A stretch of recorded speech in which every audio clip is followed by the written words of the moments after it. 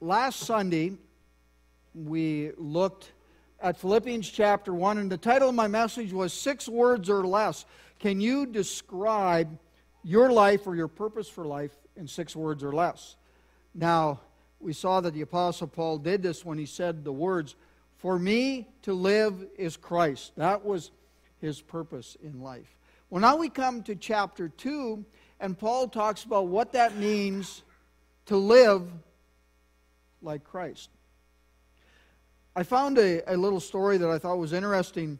Uh, there now is a perfume company that claims their perfume will make you smell like Jesus. And what they did, it's a company out of California, of course, where else? And it's called Virtue. And if you put this on, you'll smell like probably what Jesus smelled like or the disciples. Well, they used the Bible as a guide and they looked at all of the different plants that were used as perfumes in the Holy Land when Jesus walked this earth. And they said virtue is a close, really close to probably how Jesus and his followers smelled. They said it is uh, mostly a fragrance of apricot with a dash of frankincense and myrrh in there. Now, you recognize those last two, those were the gifts that the wise men brought to Jesus at his birth. So you can officially smell like Jesus. Now, my response to that, I have this word, I'm going to use one word, and this describes my whole feeling toward all of this as I look at this. And that word is absurd. I just go, Are you kidding me? I think what we should be saying, rather than saying, I want to smell like Jesus, we should be saying, I want to be like Jesus. Max Lucado summed that up in these words God loves you just the way you are, but He refuses to leave you that way. He wants you to be like Jesus. This is what Paul is trying to explain to us in Philippians chapter 2, verses 1 through 11 how to be like Jesus. And so he begins with this first step. To be like Jesus means we have humility. Paul says in Philippians 2 3, do nothing out of selfish ambition or vain conceit. In humility, value others above yourselves. Now, to get our definition from these verses of what humility is, we need to look at what the world's definition is. The world looks at humility and says, humility is weakness. You have no spine, you have no backbone. Humility is an attitude of doom and gloom. Humility is being a doormat. You let people walk all over you. Humility is not standing up for your own opinions or your own rights. Yet that's not what humility is. The Apostle Paul says your humility is looking out for the welfare of others. Humility is seeing others as equal to you. Humility is seeing other people as being just as important as you think you are.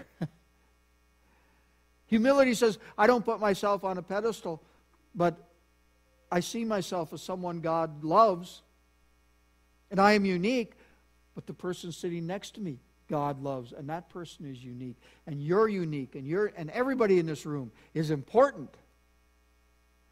Humility levels the playing field.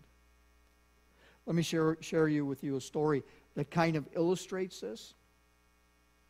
A lady pastor um, went to a friend of hers that she knew, and he was an executive from a corporation, and he had risen through the ranks and achieved greatness by the world standards. And so she went to talk to him and ask him, you know, what gave you this sense of accomplishment? Were you motivated by helping other people? Were you motivated by the social and economic um, benefits that your company would give to the community? And the executive replied to her and says, No, not one of those. My main satisfaction has come from the love of the game. He says that I overcame a lot of obstacles and handicaps. I contended with some bitter opposition from other people in the company and my competitors. And then he says, But I've beaten them all and I came out on top. Well, that's not humility. Humility tries to help others, to bring them along so they can share in the same success. Humility doesn't want to finish first. Humility does not use every other person as a stepping stone to get what we want. But humility literally encourages other people. Humility literally drags the other person across the finish line also so that they can share in those successes. This really became clear to the Federal Center for Disease Control because they did an in house experiment one time. And it really wasn't an experiment, but it turned out to be that way. When AIDS was first discovered, when the AIDS epidemic first came out, they decided to do an in house contest, competition. And they got all these teams of scientists together. Now, these were no slouches. These were individuals who were uh, top of their class in their particular field in genetics and engineering and everything else. Uh, they were scientists and doctors. And, and so they got them together, split them up into different teams, and said, You're looking for a cure for AIDS. And the first team that gets that cure, they had an incentive. And it was a really good incentive. um, there was a lot of fame, a lot of fortune involved, a lot of prestige. But they soon found out that that turned out to be a mistake. Because in their zeal to win, some teams sabotage the work of the other teams. They'd be walking by a lab and seeing them working on something, and there might be a, a couple of test tubes sitting there with samples, and then they go in and pour something else in there, ruining the samples. The turnover rate on those teams became like 75% because people just couldn't take it anymore. And finally, they had to stop having teams. And the one thing they realized is that people were just too competitive. They wanted to come across that finish line first and didn't care about anybody else. There's nothing wrong with wanting to win. But we don't win at the sacrifice of others. And they said we can't even count the cost in the kind of research that was ruined and lost forever. In this story, everyone was looking out for their own interests. And that brings us to the next step of humility that if we have humility, not only do we see others as, a, as important as ourselves, but we're also looking out for the interests of others. Paul says, not looking to your own interests, but each of you to the interests of others. Now, this text is not saying that you are not going to be concerned about your own interests. It doesn't say you're not going to stand not to stand up for yourself. It doesn't say not to promote your point of view. But what it does says is we stop and we look at everybody else's view. And we look at their interests also. And humility brings that person along also. There's an interesting song that talks about it. It's not even a religious song. It's almost like they took this from the Bible. But it was Simon and Garfunkel who, back in the 70s, wrote that wonderful song, many of you know, Like a Bridge Over Troubled Waters. And when you read these words, it really sounds a lot like what the Apostle Paul is saying. When you are weary, feeling small, when tears are in your eyes, I will dry them all. I am on your side. When times get rough and friends just don't come, can, cannot be found, like a bridge over troubled water, I will lay me down. This is what Paul is asking of us. This is what Paul is asking of believers to you. Don't look out for your own interests, but also look out for the interests of others. and be the person who comes alongside them and pulls them across the finish line. In other words, Paul is saying if you have humility, you're going to be one who encourages others. You're going to be one who is looking at the interests of others and helping them in whatever way you can. Well, we find this in several passages of Scripture.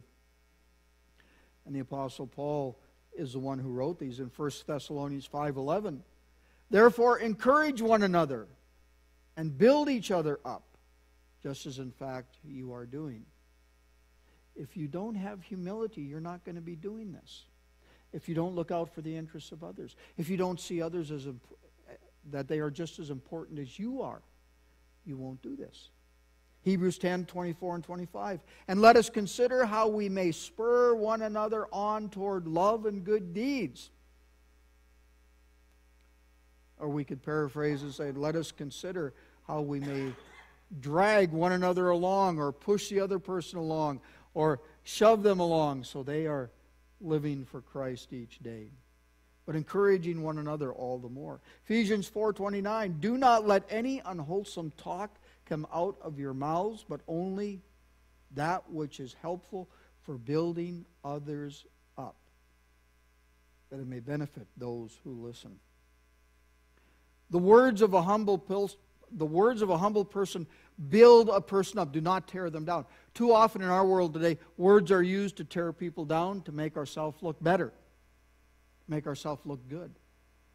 Paul says a humble person is looking out for the interests of the other person, does not want to see their feelings hurt, does not want to tear them down, but rather to build them up. So Paul is basically telling us our humility is seen in how we treat others. Our humility is seen in how we encourage other people. Let's go back to those verses where he talks about Philippians. Do nothing out of selfish ambition or vain conceit. Rather, in humility, value others above yourselves, not looking to your own interests, but each of you to the interests of the others. Now, if we have that kind of humility, then something else is going to show up in our life. Something else is going to become evident. And that's something else is we are going to be willing to be a servant to others. And that's the second thing Paul brings out. To be like Christ is to be a servant.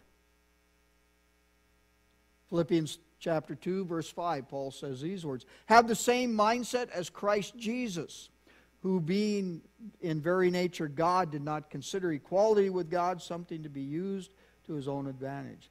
Rather, he made himself nothing by taking on the very nature of a servant. Jesus said several times that he came, the Son of Man came not to be served, but to serve. There is an interesting story that comes about someone who's willing to serve. Author Bruce Larson tells about a trip him and his wife had made to London, and they learned about an individual there. And the individual's name was Redcap 42. Redcap 42. You go, what in the world is that? Well, it was at Grand Central Station there, and his hat was red and had number 42 on it. And he would help people go from platform to platform carrying their luggage at the train station. Now, he did not just carry their luggage, but he also would talk with them. And he said these words You know, everybody going through Grand Central isn't going to a honeymoon or a party. Many are going to funerals, the hospital, even to prison. And while he took their luggage, he would talk with them and he would encourage them and counsel with them. He did this so well and it became so well known that he appeared in um, Reader's Digest under the heading called The Most Unforgettable People. Then there was a movie made about it also. So they heard this story, and then they went to this person's house, a friend's house, and they were staying a couple days there. And as he's in this person's house, person's house, he looks and on a little table. It's almost like a shrine, almost like a display. And of all things, here is what they call a Thom McAn shoehorn. This is a regular shoehorn that you put in the back and, you know, get your shoes on. But they had it sitting there on a little stand. And he was wondering, what's so special about this? So he asked them. And the owner said these words. And the, the man's name, uh, Redcap 42, his actual name was Ralston. And they said, Ralston left that behind when he was here. He stayed with us one night. And you know, we've kept it as kind of a religious icon. It reminds us that a man of God was here who brought a new dimension to our faith. Well, Bruce Larson later would write these those sophisticated Anglicans wanted a tangible reminder that a special person had passed through their lives. And that special person was simply someone who looked out for the interest of others. It was a person who simply encouraged others. It was a person who was a servant. That's what it means to be like Jesus. To have humility, to be a servant, to look out for the interests of others. Jesus looked on the crowds, it said in one passage of Scripture, and he had compassion upon them because they were like sheep without a shepherd, and he did something about it. To be like Jesus means to have humility, and that humility is seen in our being a servant to others. Now, we might be able to say in our lives, hey, I don't smell like Jesus. And some people are thinking, amen. I don't smell like Jesus, but I sure hope I look like him. I sure hope I act like Jesus. Let us pray.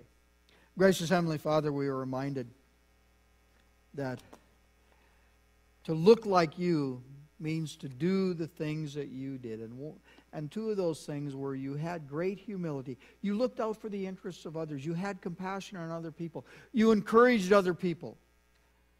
But you were also a servant to other people. And unless we have humility, we cannot do those things. May people look at our lives and see that humility and be able to say that person is like Jesus. We pray this in your name. Amen.